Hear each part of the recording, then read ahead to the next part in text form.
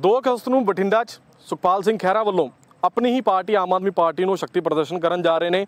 ਸੁਖਪਾਲ ਸਿੰਘ ਖਹਿਰਾ ਨੇ ਐਲਓਪੀ ਦੇ ਅਹੁਦੇ ਤੋਂ ਹਟਣ ਤੋਂ ਬਾਅਦ, ਹਟਾਏ ਜਾਣ ਤੋਂ ਬਾਅਦ ਇੱਕ ਕਨਵੈਨਸ਼ਨ ਬੁਲਾਈ ਵਲੰਟੀਅਰਸ ਦੀ ਬਠਿੰਡਾ ਵਿਖੇ ਔਰ ਤੁਸੀਂ ਦੇਖ ਸਕਦੇ ਹੋ ਕਿ ਇਹ ਕਨਵੈਨਸ਼ਨ ਜਿਹੜੀ ਹੈ ਪਹਿਲਾਂ ਇੱਕ ਰਿਜ਼ੋਰਟ 'ਚ ਹੋਣੀ ਸੀਗੀ, ਉਸ ਤੋਂ ਬਾਅਦ ਸੁਖਪਾਲ ਸਿੰਘ ਖਹਿਰਾ ਦਾ ਕੌਨਫੀਡੈਂਸ ਦੇਖਦੇ ਹੋਏ ਉਹਨਾਂ ਨੇ ਉਹਨਾਂ ਨੂੰ ਜ਼ਿਆਦਾਤਰ ਉਹਨਾਂ ਦਾ ਤਰਕ ਹੈ ਕਿ ਫੋਨ ਆਏ ਵਲੰਟੀਅਰਸ ਦੇ ਫੋਨ ਆਏ, ਸਮਰਥਕਾਂ ਦੇ ਫੋਨ ਆਏ ਤੇ ਉਸ ਤੋਂ ਬਾਅਦ ਉਹਨਾਂ ਨੇ ਜਗ੍ਹਾ ਜਿਹੜੀ ਹੈ ਉਹ ਬਦਲ ਕੇ ਬਠਿੰਡਾ ਦਾ ਇਹ ਥਰਮਲ ਸਟੇਡੀਅਮ ਹੈ, ਉੱਥੇ ਕੀਤੀ ਹੈ, ਜਿੱਥੇ ਇਸ ਵੇਲੇ ਤੁਸੀਂ ਦੇਖ ਸਕਦੇ ਹੋ ਕਿ ਘੱਟੋ ਘੱਟ ਨਹੀਂ ਦੇ 8000 ਕੁਰਸੀਆਂ ਦਾ ਅਰੇਂਜਮੈਂਟ ਕੀਤਾ ਗਿਆ ਔਰ ਉਮੀਦ ਕਰ ਰਹੇ ਨੇ ਕਿ ਆਮ ਆਦਮੀ ਪਾਰਟੀ ਵਾਲੇ ਕਿ ਇਹ ਅੰਕੜਾ ਜਿਹੜਾ ਕੱਲ ਦਾ 15000 ਤੋਂ ਵੱਧ ਦਾ ਹੋ ਸਕਦਾ ਹੈ, ਜਿਹੜੇ ਵਲੰਟੀਅਰਸ ਜਿਹੜੇ ਨੇ ਸੁਖਪਾਲ ਸਿੰਘ ਖਹਿਰਾ ਦੇ ਸਮਰਥਨ ਜਾਣਗੇ। ਕਿਉਂਕਿ ਆਮ ਆਦਮੀ ਪਾਰਟੀ ਇਸ ਵੇਲੇ ਦੋ ਲੱਗ ਰਹੀ ਹੈ ਕਿ ਇੱਕ ਦਿੱਲੀ ਵਾਲਾ ਧੜਾ ਲੱਗ ਰਿਹਾ ਹੈ, ਇੱਕ ਪੰਜਾਬ ਵਾਲਾ ਧੜਾ ਲੱਗ ਰਿਹਾ ਸਾਡੇ ਨਾਲ ਇਸ ਵੇਲੇ ਮਾਨਸਾ ਤੋਂ ਵਿਧਾਇਕ ਨਾਜਰ ਸਿੰਘ ਜੀ ਮੌਜੂਦ ਨੇ। ਨਾਜਰ ਸਿੰਘ ਜੀ ਤੁਸੀਂ ਰਾਤ ਵੇਲੇ ਅਸੀਂ ਆਪਾਂ ਦੇਖ ਰਹੇ ਹਾਂ ਕਿ ਵਿਜ਼ਿਟ ਲਗਾਤਾਰ ਚੱਲ ਰਹੀ ਹੈ ਲੋਕਾਂ ਦੀ। ਮੈਂ ਇੱਕ ਵਾਰੀ- ਜਨਤਾ ਨੂੰ ਵੀ ਕਹਿਣਾ, ਦੋ ਦਰਸ਼ਕ ਦੇਖ ਰਹੇ ਨੇ, ਅਸੀਂ ਇਸ ਵੇਲੇ ਹਨੇਰੇ ਜਾ ਕੇ ਇਸ- ਇਸ ਕਰਕੇ ਇਹ ਰਿਪੋਰਟ ਦਿਖਾ ਰਹੇ ਹਾਂ ਕਿਉਂਕਿ ਆਪਾਂ ਦੇਖ ਰਹੇ ਸੀਗੇ ਕਿ ਆਮ ਆਦਮੀ ਪਾਰਟੀ ਦੇ ਵਿਧਾਇਕ ਜਾਂ ਜਿਹੜੇ ਲੋਕ ਨੇ, ਇਹ ਕੱਲ ਦੀ ਕਿੰਨੀ ਕੁ ਸ਼ਿੱਦਤ ਹੈ ਉਹਨਾਂ ਦੇ ਵਿੱਚ ਕਿਉਂਕਿ ਲਗਾਤਾਰ ਇੱਥੇ ਐਮਐਲਏ ਚੱਕਰ ਮਾਰ ਰਹੇ ਨੇ ਔਰ ਲਗਾਤਾਰ ਅਰੇਂਜਮੈਂਟ ਜੋ ਨੇ ਉਹ ਦੇਖ ਰਹੇ ਨੇ। ਐਮਐਲਏ ਸਾਹਿਬ ਕੱਲ ਕੌਣ ਜਿੱਤ ਰਿਹਾ? ਦਿੱਲੀ ਜਿੱਤ ਰਿਹਾ ਜਾਂ ਪੰਜਾਬ ਜਿੱਤੇਗਾ? ਨਹੀਂ ਜੀ, ਇਹ ਚ ਜਿੱਤ ਹਾਰ ਦੀ ਲੜਾਈ ਨਹੀਂ ਲੜ ਰਹੇ।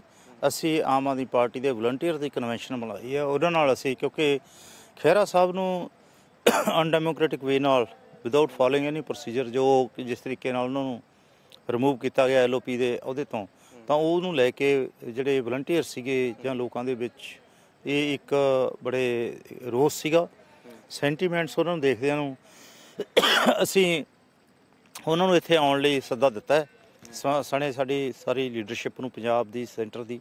ਤੇ ਵੀ ਤਾਂ ਕਿ ਆ ਕੇ ਦੇਖੋ ਵਲੰਟੀਅਰਸ ਦਾ ਸੈਂਟੀਮੈਂਟਸ ਦੀ ਕਦਰ ਕਰਦੇ ਹੋਏ ਅਸੀਂ ਜਿਹੜਾ ਚਾਹੁੰਦੇ ਆ ਵੀ ਇਸ ਤਰ੍ਹਾਂ ਦੇ ਜਿਹੜੇ ਫੈਸਲੇ ਹੈ, ਅੱਗੇ ਤੋਂ ਨਾ ਕੀਤੇ ਜਾਣ ਤੇ ਇਹ ਫੈਸਲੇ ਨੂੰ ਇੱਕ ਟਰਨਿੰਗ ਪੁਆਇੰਟ ਦੇ ਤੌਰ ਤੇ ਲਿਆ ਜਾਵੇ, ਜਦੋਂ ਕਿ ਇਹ ਸੈਂਟੀਮੈਂਟਸ ਨੂੰ ਦੇਖਦੇ ਹੋਏ ਵਾਪਸ ਲੈਣ ਦੀ ਵੀ ਅਸੀਂ ਉਹਨਾਂ ਨੂੰ ਬੇਨਤੀ ਕਰਕੇ ਆਏ ਹਾਂ। ਉਮੀਦ ਹੈ ਕੋਈ ਕੋਈ ਵੱਡਾ ਨੇਤਾ ਵੀ ਕੱਲ ਕੋਈ ਆਏਗਾ ਇੱਥੇ ਸੈਂਟਰ ਤੋਂ ਆਏਗਾ ਜਾਂ ਪੰਜਾਬ ਦੇ ਕੋਈ ਵੱਡੇ ਨੇਤਾ ਉਮੀਦ ਦੀ ਪੰਜਾਬ ਦੇ ਵੱਡੇ ਨੇਤਾ ਨੇਤਾ ਤਾਂ ਸਾਡੇ ਹੁਣ ਦੇਖੋ ਸੁਖਪਾਲ ਸਿੰਘ ਖਹਿਰਾ ਵੱਡੇ ਨੇਤਾ ਹੀ ਨੇ ਭਗਵੰਤ ਮਾਨ ਚਲੋ ਬਿਮਾਰ ਨੇ ਅਮਨ ਅਰੋੜਾ ਨੇ ਹੋਰ तमाम ਜਿਹੜੇ ਨੇਤਾ ਜਿਹੜੇ ਕਹਿ ਰਹੇ ਕਿ ਆਪਾਂ ਨਹੀਂ ਆਵਾਂਗੇ ਇੱਥੇ ਹੁਣ ਆਸ-ਪਾਸ ਦੇ ਤਲਵੰਡੀ ਸਾਬੋ ਤੋਂ ਬਲਜਿੰਦਰ ਕੌਰ ਨੇ ਉਹ ਕਹਿ ਰਹੇ ਖੈਰਾ ਪਾਰਟੀ ਤੋਂ ਵੱਡਾ ਨਹੀਂ ਹੋ ਗਿਆ ਕੱਲ ਆਮ ਆਦਮੀ ਪਾਰਟੀ ਦੀ ਸੈਂਟਰਲ ਲੀਡਰਸ਼ਿਪ ਨੇ ਉੱਥੇ ਵਿਧਾਇਕਾਂ ਦੀ ਮੀਟਿੰਗ ਵੀ ਬੁਲਾ ਲਈ ਕੀ ਤਸਵੀਰ ਕੀ ਰਹੇਗੀ ਕੱਲ ਹੁਣ ਜਿਹੜੀ ਲੋਕਾਂ ਨੇ ਵਿਰੋਧੀ ਧਿਰ ਵੀ ਚੁਣਿਆ ਚਾਹੇ ਉਹਦੀ ਤਸਵੀਰ ਕੀ ਰਹੇਗੀ ਕੱਲ ਹਮ, ਦੇਖੋ, ਇਸ ਤਰ੍ਹਾਂ ਹੈ, ਜਿੱਥੇ ਤੱਕ ਲੀਡਰਸ਼ਿਪ ਦੇ ਪਹੁੰਚਣ ਦੀ ਗੱਲ ਹੈਗੀ ਹੈ, ਅਸੀਂ ਸਾਰਿਆਂ ਨੂੰ ਖੁੱਲਾ ਸੱਦਾ ਦਿੱਤਾ ਹੈ। ਉੱਥੇ ਸਸੋਦੀਆ ਸਾਹਿਬ ਨੇ ਸਾਨੂੰ ਜਿਸ ਦਿਨ ਬੁਲਾਇਆ ਸੀਗਾ, ਅਸੀਂ ਉਦੋਂ ਮੀਟਿੰਗ ਕੀਤੀ ਹੈ। ਉਹਦੇ ਵਿੱਚ ਉਹਨਾਂ ਨੂੰ ਇਨਵਾਈਟ ਕਰਕੇ ਆਏ ਹਾਂ ਵੀ ਤੁਸੀਂ ਜ਼ਰੂਰ ਪਹੁੰਚੋ। ਬਲਕਿ ਜਿਹੜੀਆਂ ਗੱਲਾਂ ਤੁਸੀਂ ਸਾਨੂੰ ਵੀ ਦੱਸ ਰਹੇ ਹੋ, ਤਾਂ ਉੱਥੇ ਜਿਹੜੇ ਵਲੰਟੀਅਰਸ ਨੇ, ਉਹਨਾਂ ਦੇ ਸਰਮੁਖ ਵੀ ਉਹ ਕਹੋ ਤਾਂ ਜੇ ਉਹ ਇਹ ਛੋਟੀਆਂ ਗੱਲਾਂ ਨੂੰ ਮੰਨ ਕੇ ਇਹ ਸਮਰਥਨ ਦਿੰਦੇ ਆ ਵੀ ਠੀਕ ਹੈ ਜੀ ਆਮ ਆਦਮੀ ਪਾਰਟੀ ਨੇ ਜੋ ਹਾਈ ਕਮਾਂਡ ਨੇ ਫੈਸਲਾ ਕੀਤਾ ਹੈ ਉਹਨੂੰ ਮੰਨ ਲੈਣਾ ਚਾਹੀਦਾ ਤਾਂ ਅਸੀਂ ਮੰਨ ਲਾਂਗੇ। ਪਰ ਜੇ ਉਹ ਇਹ ਕਹਿੰਦੇ ਆ ਵੀ ਨਹੀਂ ਜੇ ਫੈਸਲਾ ਵਾਪਸ ਲਓ ਜੋ ਉਹਨਾਂ ਸੈਂਟੀਮੈਂਟਸ ਨੇ ਜੋ ਅਸੀਂ ਉਹਨੂੰ ਕਨਵੇ ਕਰਕੇ ਆਏ ਆ ਤਾਂ ਉਹਨੂੰ ਵਾਪਸ ਲੈ ਲੈਣਾ ਚਾਹੀਦਾ। ਇਹ ਜਿੱਤ ਜਾਂ ਹਾਰ ਦੀ ਲੜਾਈ ਤਾਂ ਲੜੀ ਨਹੀਂ ਰਹੇ। ਕੱਲ ਕਿਵੇਂ ਫੈਸਲਾ ਹੋਏਗਾ? ਵਲੰਟੀਅਰਸ ਨਾਲ ਗੱਲਬਾਤ ਹੋਏਗੀ? ਇਸ ਸਟੇਜ ਤੋਂ ਸਪੀਚਾਂ ਹੋਣਗੀਆਂ ਜਾਂ ਫਿਰ ਵਲੰਟੀਅਰਸ ਦੀ ਵੌਇਸ ਵੋਟਿੰਗ ਹੋਏਗੀ? ਕਿਵੇਂ ਕੀ ਹੋਏਗਾ ਕੀ ਕੱਲ ਕਿਉਂਕਿ ਕੱਲ ਦਾ ਸੀਨ ਕੀ ਹੈ? ਸੁਣੋ ਇਹ ਕੋਈ ਜਿੱਤ ਜਾਂ ਹਾਰ ਦੇ ਤੌਰ ਤੇ ਕਦੇ ਲੜਾਈ ਨਹੀਂ ਲੜੀ ਜਾਂਦੀ ਹੁੰਦੀ ਜੋ ਪਾਰਟੀ ਦੇ ਵਿੱਚ ਆ ਅਸੀਂ ਜਿੱਤਾਂ ਹਾਰਾਂ ਤਾਂ ਜੇ ਇੰਟਰ ਪਾਰਟੀ ਵੀ ਹੋਵੇ ਉਹ ਵੀ ਨਹੀਂ ਲੜੀ ਜਾਂਦੀ ਹੁੰਦੀ ਇਹ ਤਾਂ ਹੈ ਇੰਟਰਾ ਪਾਰਟੀ।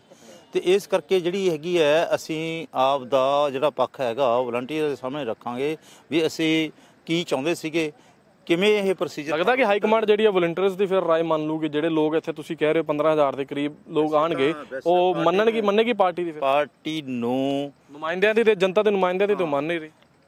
ਦੇਖੋ ਗੱਲ ਇਸ ਤਰ੍ਹਾਂ ਹੁੰਦੀ ਹੈ ਇੱਕ ਜਨਤਾ ਤੇ ਨੁਮਾਇੰਦੇ ਅਲੱਗ ਚੀਜ਼ ਹੁੰਦੇ ਆ ਨੁਮਾਇੰਦੇ ਜੋ ਜਾਂਦੇ ਉਹਨਾਂ ਦੀ ਗੱਲ ਕਰਦੇ ਆ ਸਮ ਟਾਈਮਸ ਉਹਨਾਂ ਨੂੰ ਲੱਗੇ ਵੀ ਨਹੀਂ ਸਾਰੀ ਇਹ ਥੱਲੇ ਵਲੰਟੀਅਰਸ ਸ਼ਾਇਦ ਨਾ ਚਾਹੁੰਦੇ ਹੋਣ ਤਾਂ ਉਹਨਾਂ ਦੀ ਆਪਣੀ رائے ਹੋ ਸਕਦੀ ਹੈ ਬਟ ਸਿਆਣਪ ਇਸੇ ਗੱਲ 'ਚ ਹੋਏਗੀ ਆਮ ਆਦਮੀ ਪਾਰਟੀ ਇਹ ਸੈਂਟੀਮੈਂਟਸ ਦੇਖਦੇ ਹੋਏ ਉਸ ਫੈਸਲੇ ਨੂੰ ਵਾਪਸ ਲਵੇ ਤੇ ਅੱਗੇ ਆਉਣ ਵਾਲੇ ਜਿਹੜੀ ਮਤਲਬ ਕਿ ਇੱਕ ਅਸ਼ੋਰੈਂਸ ਦੇ ਵਿੱਚ ਇੱਕ ਜਾਏਗਾ ਲੋਕਾਂ ਦਾ ਵੀ ਟਰਸਟ ਬਣੇਗਾ ਵੀ ਆਮ ਆਦਮੀ ਪਾਰਟੀ ਨੇ ਇਹ ਰਿਅਲਾਈਜ਼ ਕੀਤਾ ਦੇਖਦੇ ਹੋਏ ਵੀ ਸੈਂਟੀਮੈਂਟਸ ਇਸ ਵੇਲੇ ਹੈ ਉਹ ਫੈਸਲੇ ਦੇ ਅਗੇਂਸਟ ਨੇ ਤੇ ਅੱਗੇ ਤੋਂ ਜਿਹੜੇ ਵਿਦ ਡੈਮੋਕ੍ਰੈਟਿਕ ਸੈਟਅਪ ਤੇ ਨਾਲ ਜਾਣੀ ਸਾਰਿਆਂ ਦੀ ਰਾਏ ਨਾਲ ਪ੍ਰੋਸੀਜਰ ਫਾਲੋ ਕਰਕੇ ਫੈਸਲੇ ਲਏ ਜਾਣ। ਜੇ ਫੈਸਲਾ ਵਾਪਸ ਨਹੀਂ ਲੈਂਦੀ ਫਿਰ? ਤਾਂ ਕੀ ਉਹ? ਸੁਪਰੀਮ ਨੇ। ਜੇ ਮਤਲਬ ਕਿ ਜਿਸ ਤਰ੍ਹਾਂ ਛੋਟੇਪੁਰ ਜੀ ਦਾ ਫੈਸਲਾ ਵਾਪਸ ਨਹੀਂ ਲਿਆ ਘੁੱਗੀ ਜੀ ਨੂੰ ਹਟਾਉਣ ਦਾ ਫੈਸਲਾ ਵਾਪਸ ਨਹੀਂ ਲਿਆ ਕਿਸੇ ਹੋਰ ਗੱਲਾਂ ਜਿੰਨੀਆਂ ਵੀ ਹੋਈਆਂ ਨੇ ਉਹ ਤੁਹਾਡਾ ਵਿਰੋਧ ਜਿਹੜੇ 8 ਐਮਐਲਏ ਖੈਰਾ ਸਾਹਿਬ ਨਾਲ ਜੁੜੇ ਨੇ ਉਹ ਵਿਰੋਧ ਖਤਮ ਹੋ ਜਾਏਗਾ? ਜੇ ਉਹ ਨਹੀਂ ਵੀ ਲੈਂਦੇ ਹਾਈ ਕਮਾਂਡ 'ਚ ਕਹਦੇ ਕਿ ਆਪਾਂ ਫੈਸਲਾ ਨਹੀਂ ਵਾਪਸ ਲੈਣਾ। ਇਸ ਤਰ੍ਹਾਂ ਦੀ ਆਵਾਜ਼ ਹੈ ਜਿਹੜੀ ਬੁਲੰਦ ਕਰਦੇ ਰਵਾਂਗੇ। ਅਸੀਂ ਆਪਣਾ ਜਿਹੜਾ ਪ੍ਰੋਟੈਸਟ ਹੈ ਜਾਂ ਜੋ ਸਾਡੀ ਆਵਾਜ਼ ਹੈਗੀ ਹੈ ਸੈਂਟੀਮੈਂਟਸ ਜਿਨ੍ਹਾਂ ਨੇ ਆਮ ਆਦਮੀ ਪਾਰਟੀ 'ਚ ਆਵਾਜ਼ ਬੁਲੰਦ ਕੀਤੀ ਯੋਗਿੰਦਰ ਯਾਦਵ ਪ੍ਰਸ਼ਾਂਤ ਭੂਸ਼ਣ ਧਰਮਵੀਰ ਗਾਂਧੀ ਹਰਿੰਦਰ ਖਾਲਸਾ ਛੋਟੇਪੁਰ। ਉਹਨਾਂ ਦਾ ਪੋਲੀਟੀਕਲ ਕੈਰੀਅਰ ਹੀ ਕੇਜਰੀਵਾਲ ਨੇ ਕਿਸੇ ਨਾ ਕਿਸੇ ਜਿਹੜਾ ਹਿਲਾ ਕੇ ਰੱਖ ਦਿੱਤਾ ਉਹ ਹੁਣ ਕੋਈ ਕਾਮਯਾਬ ਨਹੀਂ ਹੋ ਪਾਏ ਜਿਹੜੇ ਤੁਹਾਨੂੰ ਤੁਸੀਂ ਵਿਧਾਇਕ ਹੋ ਤੁਹਾਨੂੰ ਡਰ ਨਹੀਂ ਲੱਗ ਰਿਹਾ। ਕਈ ਵਿਧਾਇਕ ਪਹਿਲੀ ਵਾਰ ਚੁਣ ਕੇ ਆਏ ਨੇ। ਇੱਕ ਚੀਜ਼ ਦੱਸੋ ਉਹਨਾਂ ਦੇ ਕੈਰੀਅਰ ਤਾਂ ਹਿਲਾ ਕੇ ਰੱਖ ਦਿੱਤੇ ਗਏ। ਤੁਹਾਨੂੰ ਨਹੀਂ ਲੱਗਦਾ ਕਿੱਡਾ ਵੱਡਾ ਸੈਟਬੈਕ ਇਹਨਾਂ ਡਿਸੀਜਨਸ ਕਰਕੇ ਆਮ ਆਦਮੀ ਪਾਰਟੀ ਨੂੰ ਪੰਜਾਬ ਦੇ ਵਿੱਚ ਨਹੀਂ ਲੱਗਿਆ? ਉਹ ਪੁੱਛ ਰਿਹਾ ਕਿ ਤੁਹਾਡਾ ਅਗਲਾ ਡਿਸੀਜਨ ਕੀ ਰਹੇਗਾ ਫਿਰ? ਜਿੱਥੇ 100 ਸੀਟਾਂ ਆ ਰਹੀਆਂ ਸੀ ਉੱਥੇ ਅਸੀਂ 20 ਤੇ ਸਿਮਟ ਕੇ ਰਹਿ ਗਏ ਕਿ ਇਹ ਜੇ ਸਿਆਣੇ ਡਿਸੀਜਨ ਹੁੰਦੇ ਤਾਂ ਇਹ ਹਾਲਤ ਹੁੰਦੀ। ਆਪਾਂ ਇਹ ਨਾ ਸੋਚੋ ਉਹਨਾਂ ਦਾ ਕੈਰੀਅਰ ਖਰਾਬ ਕੀਤਾ ਜਿਹੜੇ ਬਾਹਰ ਬੈਠੇ ਆ। ਜਿਹੜੇ ਅੰਦਰ ਬੈਠੇ ਉਹਨਾਂ ਦਾ ਕੈਰੀਅਰ ਖਰਾਬ ਨਹੀਂ ਹੋਇਆ ਇਹਨਾਂ ਫੈਸਲਿਆਂ ਨਾਲ।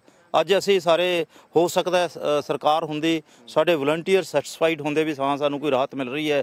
ਆਮ ਲੋਕ ਮਹਿਸੂਸ ਕਰਦੇ ਵੀ ਆਮ ਆਦਮੀ ਪਾਰਟੀ ਸਰਕਾਰ ਆਈ ਹੈ, ਤਾਂ ਕੋਈ ਚੰਗੇ ਕੰਮ ਹੋ ਰਹੇ ਨੇ ਕਰਪਸ਼ਨ ਘਟੀ ਹੈ, ਕੋਈ ਜਿਹੜਾ ਆਪਣਾ ਐਜੂਕੇਸ਼ਨ ਦਾ ਲੈਵਲ ਵਧਿਆ ਕੋਈ ਸਿਹਤ ਸੇਵਾ ਮਿਲ ਰਹੀ ਰਹੀਆਂ ਤੁਹਾਨੂੰ ਨਹੀਂ ਲੱਗਦਾ ਵੀ ਉਹ ਡਿਸੀਜਨਸ ਕਰਕੇ ਇੱਥੇ ਸਰਕਾਰ ਨਾ ਬਣਨ ਕਰਕੇ ਪੰਜਾਬ ਦੇ ਲੋਕ ਉਹ ਫੈਸਿਲਿਟੀਆਂ ਤੋਂ ਜਾਂ ਉਸ ਤਰ੍ਹਾਂ ਦੀ ਸਹੂਲਤਾਂ ਮਿਲਣੀਆਂ ਸੀ, ਉਹਨਾਂ ਤੋਂ ਵਾਂਝੇ ਹੋ ਗਏ ਪਰ ਤੁਹਾਨੂੰ ਲੱਗਦਾ ਹੈ ਕਿ ਦਿੱਲੀ ਜਿਹੜਾ ਆਪਣੀ ਕਮਾਂਡ ਫਿਰ ਇੱਥੋਂ ਛੱਡ ਦੇਗਾ ਜਿੱਦਾਂ ਸੁਖਪਾਲ ਸਿੰਘ ਖਹਿਰਾ ਕਹਿੰਦੇ ਨੇ ਕਿ ਪੰਜਾਬ ਦਾ ਫੈਸਲਾ ਪੰਜਾਬੀਆਂ ਨੂੰ ਕਰਨ ਦਿਓ ਪਰ ਲੱਗਦਾ ਹੈ ਕਿ ਅਰਵਿੰਦ ਕੇਜਰੀਵਾਲ, ਮਨੀਸ਼ ਸਿਸੋਦੀਆ ਆਰਾਮ ਨਾਲ ਚਾਬੀ ਜਿਹੜੀ ਆ ਤੁਹਾਡੇ ਹੱਥ ਫੜਾ ਦੇਣਗੇ। ਮਨੀਸ਼ ਸਿਸੋਦੀਆ ਨੇ ਟਵੀਟ ਕਰਤਾ ਕਿ ਜਿਹੜੇ ਵੀ ਵਿਧਾਇਕ ਜਾਂ ਜੋ ਵੀ ਬੰਦਾ ਇੱਥੇ ਜਾਏਗਾ, ਉਹਦੀ ਐਂਟੀ ਪਾਰਟੀ ਐਕਟੀਵਿਟੀ 'ਚ ਮੰਨਿਆ ਜਾਏਗਾ ਉਹਨੂੰ। ਤੁਹਾਨੂੰ ਡਰ ਨਹੀਂ ਲੱਗ ਰਿਹਾ ਹੁਣ ਤੁਹਾਨੂੰ ਲੋਕਾਂ ਨੂੰ, ਕੋਈ ਡਰ ਨਹੀਂ ਹੈ। ਕਿਉਂਕਿ ਡਰ ਉਦੋਂ ਹੁੰਦਾ ਜੇ ਤੁਸੀਂ ਆਪਦੇ ਵਾਸਤੇ ਲੜਾਈ ਲੜ ਰਹੇ ਹੋ। ਅਸੀਂ ਲੜਾਈ ਕੋਈ ਨਾ ਆਪਦੇ ਵਾਸਤੇ ਲੜ ਰਹੇ ਹਾਂ ਨਾ ਕਿਸੇ ਆਉਣ ਵਾਲੀ ਇਲੈਕਸ਼ਨ ਜਿੱਤਣ ਜਾਂ ਹਾਰਨ ਲਈ ਲੜ ਰਹੇ ਹਾਂ ਨਾ ਕਿਸੇ ਉਹਦੇ ਵਾਸਤੇ ਲੜ ਰਹੇ ਹਾਂ। ਅਸੀਂ ਲੜ ਰਹੇ ਹਾਂ ਪੰਜਾਬ ਦੇ ਸੁਨਹਿਰੀ ਭਵਿੱਖ ਵਾਸਤੇ। ਉਹਦੇ ਲਈ ਲੜਾਈ ਜਿੰਨੀ ਮਰਜ਼ੀ ਲੜਨੀ ਪਵੇ ਜੋ ਮਰਜ਼ੀ ਸਾਨੂੰ ਸਜ਼ਾ ਮਿਲੇ ਜੋ ਮਰਜ਼ੀ ਸਾਡੇ ਨਾਲ ਵਿਹ- ਅ, ਕਹ ਲਓ ਵਿਹਾਰ ਹੋਵੇ ਉਹ ਸਾਨੂੰ ਪਰਵਾਹ ਨਹੀਂ ਕਰਨੀ ਚਾਹੀਦੀ। ਇੱਥੇ ਤਾਂ ਮਤਲਬ ਕਿ ਅਸੀਂ ਇੱਕ ਜਿਹੜੇ ਸਾਡੇ ਲੋਕੀ ਨੇ ਇਸ ਕਰਕੇ ਜਾਣੀ ਮਤਲਬ ਕਿ ਸੋਚਦੇ ਆ ਵੀ ਸ਼ਾਇਦ ਪਤਾ ਨਹੀਂ ਇਹ ਹੋਏਗਾ ਤਾਂ ਮੈਂ ਵਾਪਸ ਹੋ ਜਾ।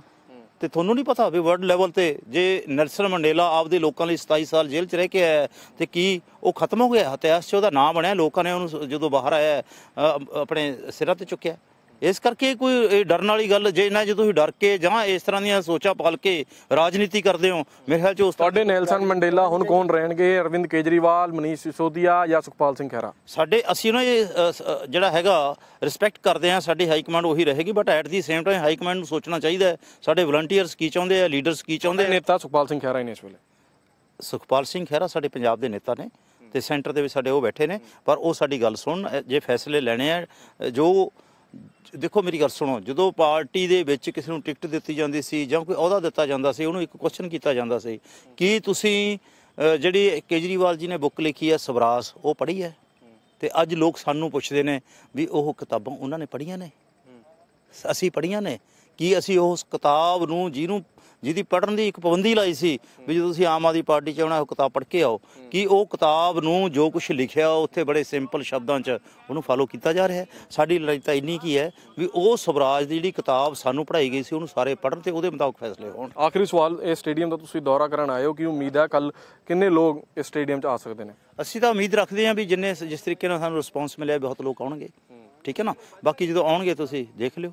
ਜੀ ਸਾਡੇ ਨਾਲ ਗੱਲਬਾਤ ਕਰਨ ਲਈ ਬਹੁਤ ਬਹੁਤ ਧੰਨਵਾਦ। ਇਹ ਸਨ ਮਾਨਸਾ ਤੋਂ ਵਿਧਾਇਕ ਨਾਜ਼ਰ ਸਿੰਘ ਜੀ, ਜਿਨ੍ਹਾਂ ਨੂੰ ਉਮੀਦ ਹੈ ਕਿ ਭਾਰੀ ਗਿਣਤੀ ਜਿਹੜਾ ਕੱਲ ਇੱਥੇ ਇਕੱਠ ਹੋਏਗਾ ਔਰ ਕਹਿ ਰਹੇ ਨੇ ਕਿ ਅਸੀਂ ਇੱਕ ਹਾਈ ਕਮਾਂਡ ਤੱਕ ਇੱਕ ਮੈਸੇਜ ਜ਼ਰੂਰ ਪਹੁੰਚਾਵਾਂਗੇ ਕਿ ਜੋ ਐਲਓਪੀ ਦੇ ਅਹੁਦੇ ਤੋਂ ਹਟਾਇਆ ਗਿਆ ਸੁਖਪਾਲ ਸਿੰਘ ਖਹਿਰਾ ਨੂੰ, ਉਹਨਾਂ ਨੂੰ ਵਾਪਸ ਉਸੇ ਅਹੁਦੇ ਤੇ ਲਿਆਂਦਾ ਜਾਵੇ। ਕੈਮਰਾਮੈਨ ਵਰਿੰਦਰ ਦੇ ਨਾਲ ਰਿਮਾਂਸ਼ੂ ਗਾਬਾ ਦੈਨਿਕ ਸਵੇਰਾ ਟੀਵੀ ਬਠਿੰਡਾ।